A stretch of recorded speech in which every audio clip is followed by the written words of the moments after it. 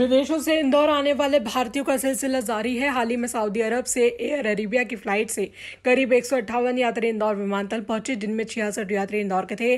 स्वास्थ्य विभाग ने इन सभी यात्रियों का एयरपोर्ट पर पहले स्क्रीनिंग किया। उसके बाद इन्हें सात दिनों के लिए इंस्टीट्यूशनल क्वारंटाइन किया गया। दरअसल इंदौर एयरपोर्ट पर सऊदी अरब से आने वाली फ़्लाइट को लेकर ही इंदौर में सबसे ज़्यादा कोरोना फैलने की संभावना जताई जा रही थी।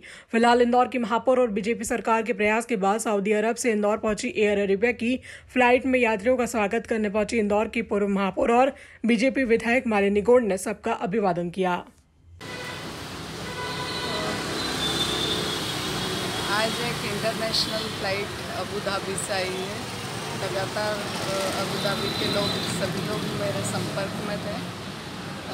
मेरे माननीय मुख्यमंत्री जी से, माननीय नरेंद्र सिंह जी भाई साहब से, माननीय हरदीप पुरी जी से सभी लोगों से संपर्क करके वहाँ पर जो लोग काफ़ी दिनों से लॉकडाउन के पहले से फंसे हुए थे काफ़ी उनको दिक्कत का सामना करना पड़ रहा था।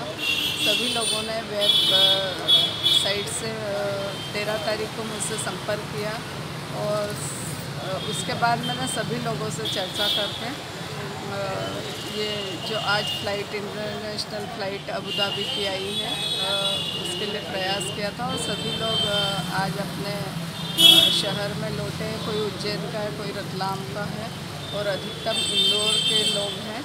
सभी लोग अपने अपने घर पहुँच गए हैं। सभी लोगों को रिसीव करने के लिए एयरपोर्ट गई